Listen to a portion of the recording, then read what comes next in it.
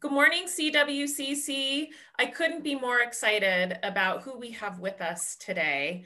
My dear, dear friend, my mentor, someone that matters so much to me in my life, and I always just consider it a privilege and a joy to spend time with her. Christine Benero, thank you so much for being with us, President and CEO of Mile High United Way.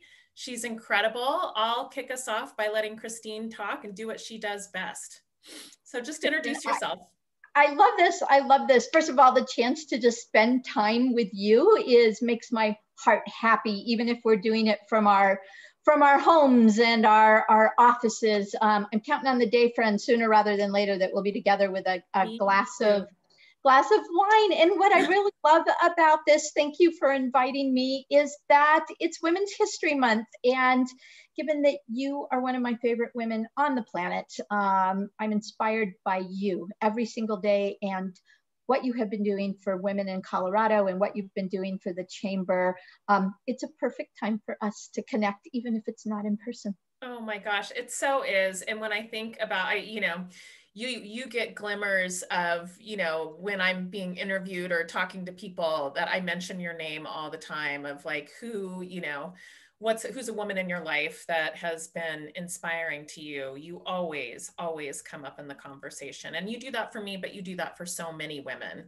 So thank you. I've i don't think i've seen anyone lift women up the way that you do. Um, and just make us feel confident and that we're unstoppable. And it's probably perfect for your role too, because you do that for the community as well. So I know that you and I both share a commonality of having amazing, strong women that, you know, paved the way for us. And your mother just celebrated a milestone. Tell her, I, I, I love telling this story. I served on the Denver Press Club board ah. with your mother, Patterson, and what a force. She's amazing. Thank you. Thank you. And we do share that, as many of us do, just unbelievable, amazing mothers. And yeah, last Sunday, my mom celebrated her 90th birthday with the same style and grace that I have watched her my um, entire life and with such grit because I here's the one thing I'm learning, Kristen. Um, being 90 is not for the faint of heart. Let right. me let me tell you, I'm like, oh, this is going to be um, a journey. But I love that I got to have a conversation with my mom about her own career and what and she told me the most amazing story that you will so appreciate also given that it's pay equity day or not pay um, yeah, right. equity day of um, she was working in um, the um, in the late 50s in a pr firm in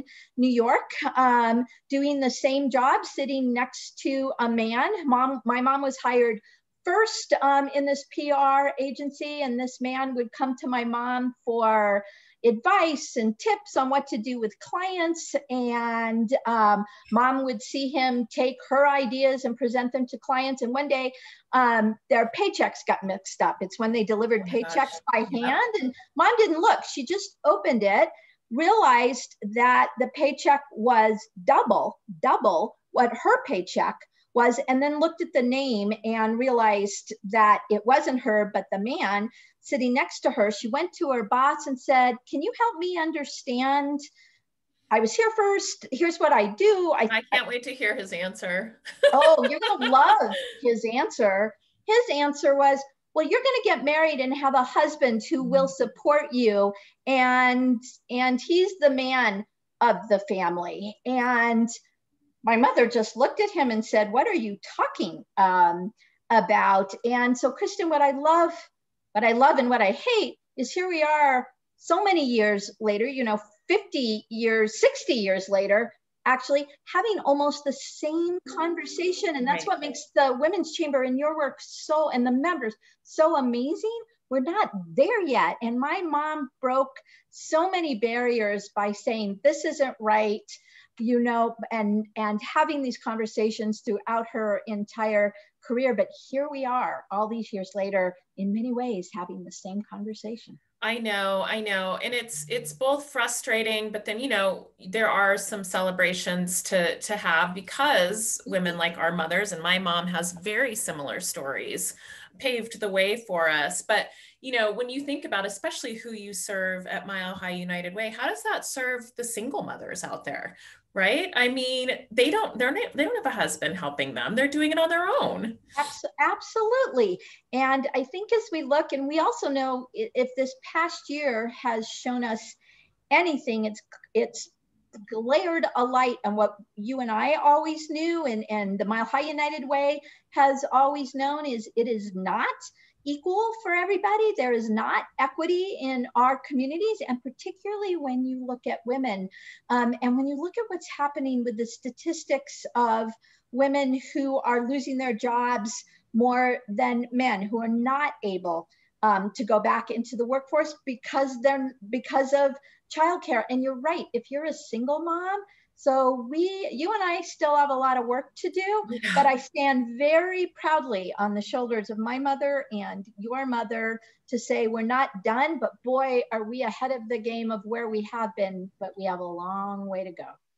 Well, cheers to strong women and cheers to fighting the good fight. And I am so happy to know you and proud of the work that you're doing at Mile High United Way. So, plug for donation because it's such an incredible organization and especially right now especially the work that you're doing for women so thank you for fighting the good fight um, okay so here's to the questions and we ask these questions because there's so many lessons in the answers and i know you've spoken to our members before about your journey and you have an incredible one but tell us about a time in your life when you've persevered and how you got through it I think the one that I keep going back to because it was the most unexpected one, and we all have have journeys and unexpected twists and turns. And I know you know what I'm gonna say was four years ago when um, literally what seemed like out of the blue for me was diagnosed with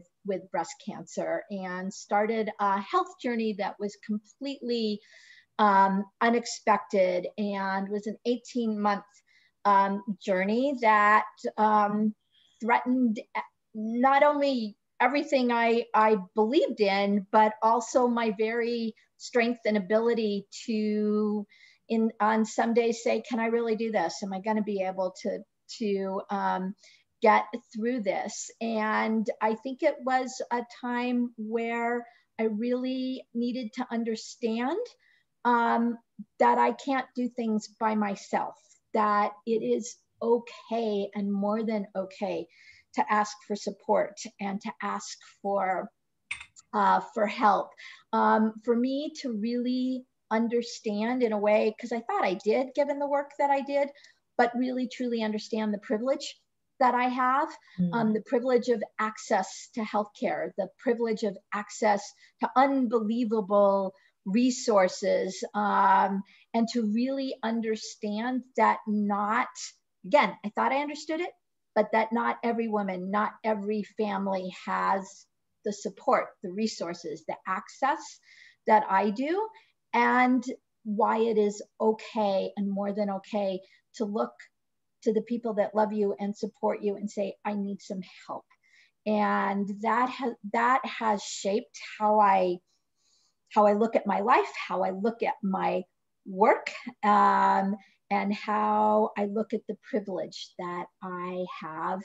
And it was it was a journey and a journey in many ways that I'm still on. Oh, well, and you know, typical Christine Benero style. I remember going through a rough time in my life um, and in my role at the time. And I remember you would pick up the phone like when you were in treatment and talk to me and be there for me and you know it comes so full circle but i have to ask you because i think that this is something that women in particular struggle with i think sometimes we don't have a problem saying i'm struggling or i need help but then when people offer it we don't take it how did you do that? I could not, I could not agree more as um, I couldn't agree more. And that's something I had to, to learn and, and to understand two things um, that it was obviously a gift to me, but I also understood that it was a gift back to the person who loved me and mm-hmm. wanted to be support. And if there was any lesson, it was to be able to say, I do need help. And yes, please, I will accept that, yeah. that help. And again, that has informed my work, the way I live I hope my my life now, and it was probably the biggest um, the biggest lesson for me was to say yes, and um, not just thank you, but to say yes, and then be able to take that help because I needed it. Right. It's so true. I love that. I'm going to I'm going to take that away from this conversation of it's not just about helping me, it's about helping them yeah. become who they want to be that's really good advice exactly and um and now i i know so um but a journey friend yes well and and you are cancer free now right i am i uh, just hit my four year mark. So coming up on that magic five year mark and again grateful every single day. Was it hard to i mean did you at any point were you concerned about you know your your work or your job or you know there's that fear of oh my gosh if i tell people they're going to think i'm not going to be able to work yes. Anymore what will that look like? And i know going through hard times work is a reprieve sometimes and it feels good. Were you it, it does. and and that was the biggest thing i was a, a, one of the big things i was uh, afraid of was would i not be needed? Would my team or my board um, again in wanting to support me not include me anymore? Would there be a place for me when i was was done um, and the greatest gift was the team of people that i worked with who um, always made space for me always told me that i was um, needed. Even when they knew that there wasn't much i could do they would call and ask me um, that mile high united way team that surrounded me for those 18 months are were very much part of getting me healthy because they allowed me. I look back at it and I'm like, I was of no help to you whatsoever. I just thought I was, but you made me feel like I was and then created space for me um, to come back. So they gave me an amazing, as did the board, an amazing gift and i know that that was a big part of my my healing but i was very afraid of telling people for that reason well and what an incredible journey and i am 100% convinced that your culture was so strong because you were able to do that right? And i think that that is a gift that women bring and you know men and women bring gifts to the workplace but i do think it's a gift that women bring to the workplace that they can be vulnerable and you can still have things going on in your life and still work and still add value and all of those things. So thank you for sharing that and and thank you for being brave um, at the time and sharing it with everyone in the workplace and creating a strong culture um, okay what is a mantra that you live by well it is very much reflective in the conversation that you and i are having, it is remembering and saying to myself, I am not alone. I am not alone. And I'm not. And it's, um, again, during that journey, but I think also during this past year, that has been a journey for our community that um, we are not alone. You know, Governor Polis said, We are in this together. Uh, the Mile High United Way says all the time, We are a community united. And I used to think, oh, that's a nice little slogan. But for me, that is actually what has carried me through to know that I am not alone. And I only need to pick up the phone and call you, Kristen Blessman, or call a colleague or call my family and I am always overwhelmed by the response that I get back of someone saying, No, you're not alone. I'm right here too. Mm. Just hearing you say that, I took like a deep breath and went, oh. I'm one of those people that panics, you know, like, oh my gosh, I'm not doing anything, I'm not planning anything, I'm just sitting here by myself, you know, just like having that in your head is really important right now. It, it is. And it may look different. It may be looking like this, like a Zoom meeting or, uh, but we live in an amazing state. We live in an amazing community.